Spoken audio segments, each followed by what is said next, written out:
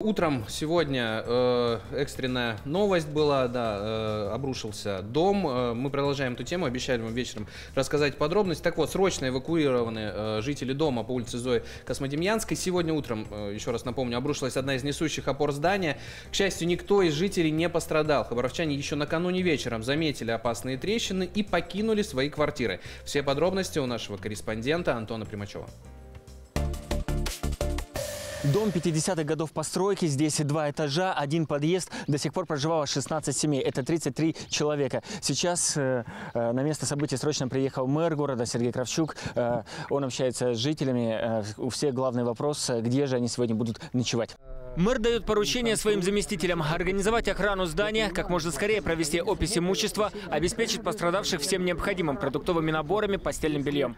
признать дом аварийным и, э, Обрушить и обрушить конструкцию. Это после э, обследования его и обязательно комиссионно. Это все сделать в течение двух-трех дней. То есть э, работать 24 часа в сутки. Эти кадры очевидцы происшествия сделали сегодня утром. В подвальном помещении, где раньше находилась котельная, обрушилась одна из опор. Осыпалась кирпичная кладка стены, прогнулся потолок, просели полы. Городская межведомственная комиссия дважды признавала здание аварийным в 2017 и 2018 годах. Однако жители не собирались покидать насиженные места и обжаловали решение в суде. Их позиция не переселяться в маневренный фонд и сейчас осталась неизменной. Поверьте, мы ездили в том году, нам предлагали, мы туда ездили, администрация города Хабаровска судилась с нами, что мы э, в принудительном порядке нас хотели вы, выселить. Вы лично пойдете туда же? Нет, Почему? потому что там ужасное Как состояние. понять ужасно? Да Ну, потому что там разъезжу, бичи, посмотрю. наркоманы, там пробиты окна, пробиты двери. Сергей Кравчук отправился осмотреть маневренный фонд. Администратор дома объясняет, предоставить временное жилье здесь готовы всем пострадавшим. Это комната на 4 человека. На семью. На семью. Здесь люди жили, съехали, получили квартиру. Семья Надежды Ливанчен переехала в маневренный фонд из барака, который находился в районе Хабаровск-2. Они погорельцы. В отличие от тех, кто сегодня остался без жилья, женщина и ее соседи не считают, что здесь неприемлемые для жизни условия.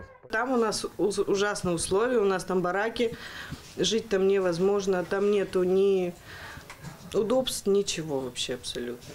Пострадавших с улицы Зои Космодемьянской приглашали заселяться в маневренный фонд еще вчера, как только появилась опасная трещина. Хабаровчане сказали, что опасаются, если переедут в маневренный фонд, останутся здесь навсегда. Администратор дома убеждена, временное жилье далеко не всегда остается постоянным. Примеры у нее есть.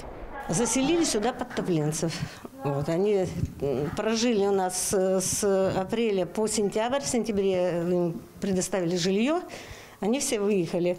Потом начали уже заселять э, а, обрушенцев, э, погорельцев, вот, предоставлять жилье. Э, Ну вот они, э, кто-то получает квартиры, выселяется. В доме маневренного фонда есть не только теплый туалет и душ, электроплиты, автоматические стиральные машины, установлены камеры наружного наблюдения. Во дворе есть детская площадка. Тем временем пострадавшие продолжают дежурить возле своих квартир. Они ожидают приезда э, специальной комиссии, которая ответит на вопрос как, а главное когда им можно будет забрать свое имущество. У многих остались нетронутыми телевизор, холодильник, шкафы. И, кстати, они еще до сих пор не решили, где проведут эту предстоящую ночь. У друзей, родственников или все-таки в маневренном фонде. Антон Примачев, Евгений Власов. Смотри, Хабаровск. Да, непонимание между жителями эвакуированного дома и городской администрацией возникло из-за того, что хабаровчане э, хотят, чтобы их переселили не в маневренный фонд, а в полноценные квартиры. Об этом, кстати, мечтают и жители всех бараков. Однако в одночасье город не в состоянии переселить всех в новостройки. И подробнее к этой теме сегодня мы снова вернемся.